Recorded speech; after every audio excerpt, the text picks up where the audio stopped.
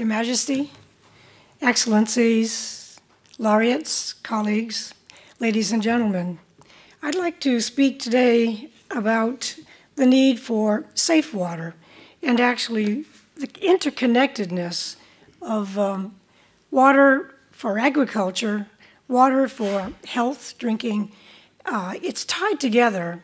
Uh, for example, in countries like Ethiopia in Africa, Cambodia in Asia, and India, and especially Bangladesh, less than 20% of the population has access to safe water. And the result is that 200 of every thousand children under the age of five do not survive.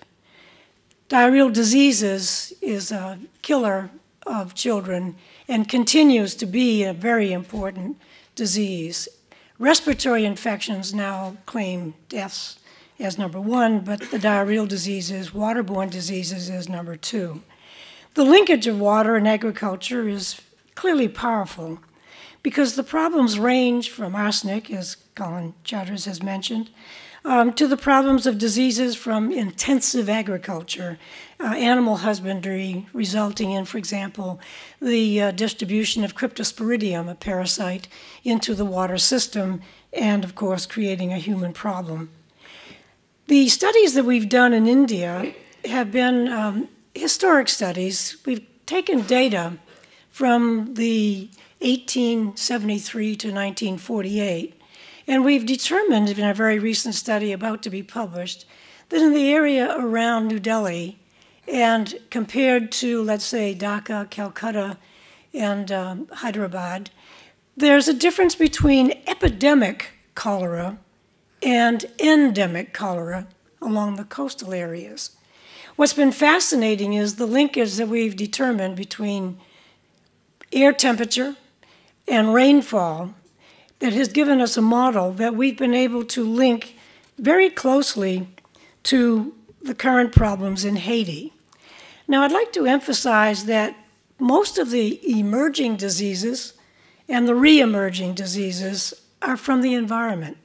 They're from uh, cohabitation with animals in the sense of the uh, uh, swine flu that uh, ravaged um, Asia a few years ago, but particularly the waterborne diseases. And in this case, uh, the bacteria of cholera uh, are associated with plankton, concentrate in fish and shellfish, with the end result that uh, in a population with very, very poor sanitation, there is, of course, transmission person to person, but fundamentally, the source is the environment. And that, I think, is an important message to understand.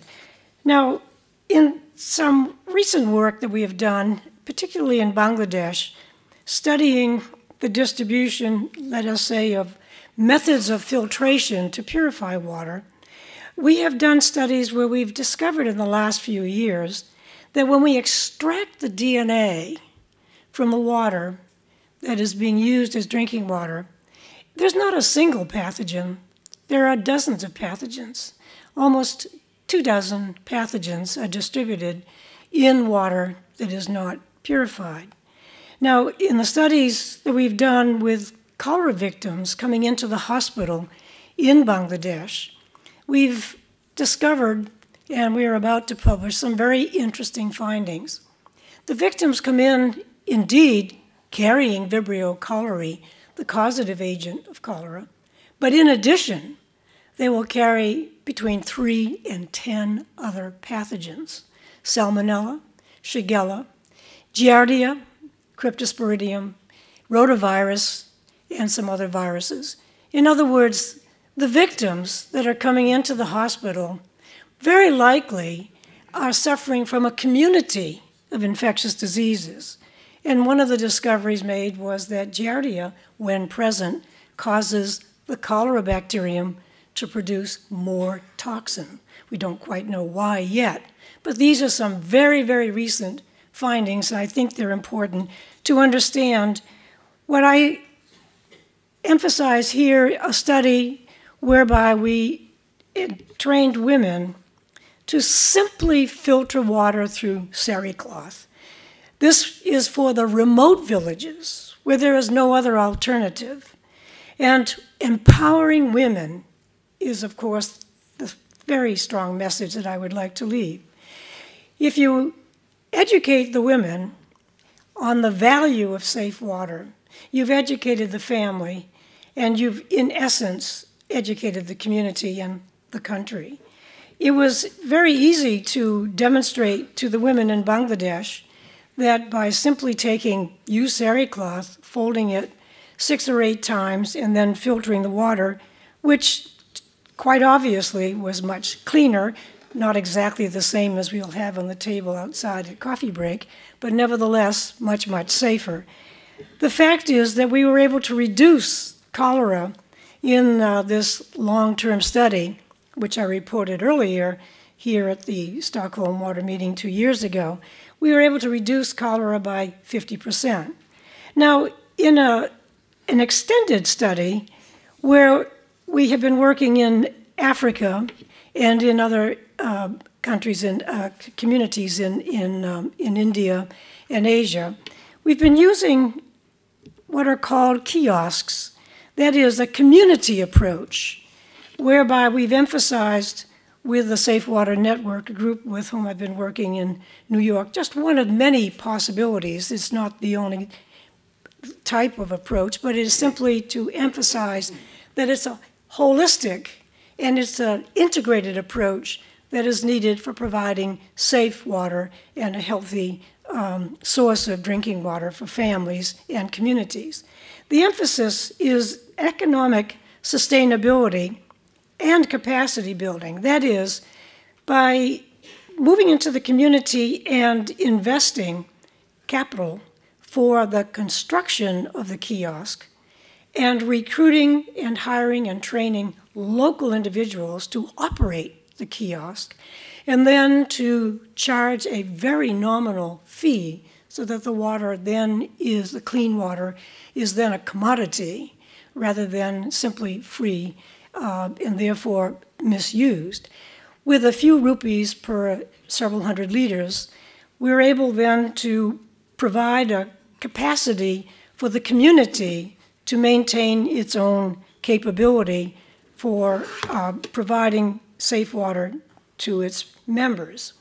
We've emphasized reduction in cost and operation, and even in capitalization to the minimum, so that we could extend uh, the kiosks to many villages in India, and carried out a very careful distribution strategy determining how far from the kiosk the water then would be used and being able to maximize um, the utilization of individual kiosks and then to position many kiosks in a way that will be effective for um, um, volume usage by the communities.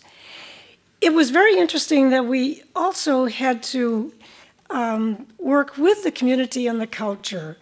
It turned out that in one of the communities in particular, the medicine women who were uh, marketing herbal solutions were um, losing money because the safe water uh, ended up with less disease in the community. And then they began a campaign to disparage the kiosk. But we used good reasoning and we co opted the medicine women as agents, paid them a nominal salary to um, explain why the kiosk water was much more effective. And that in turn allowed greater use of the kiosks. Now, colleagues Kellogg Schwab and um, Melissa Obispo at Johns Hopkins University have been doing the analyses of the um, effectiveness with respect to disease reduction. And we're very happy to say that with the kiosks, um, we have been able to reduce schistosomiasis by 80 percent by the simple filtration provided in these central kiosks uh, for the communities in Ghana, particularly, but also in India. The uh, integrated approach uh, of understanding the culture, empowering the women, families, uh, introducing a business approach uh, to the distribution of water has led to then a healthy community and a much more effective uh, availability of safe water. The program approach is capacity building. It provides uh, a source of safe water, and clearly we're able to reduce waterborne disease. Now, the connectiveness to agriculture is multifold. Firstly, with healthy children, the nutritional capacity of the food that is provided is enhanced. Uh, productivity increases simply because uh, the community with less disease burden is economically more powerful. And so the livelihoods of the individuals has been much improved.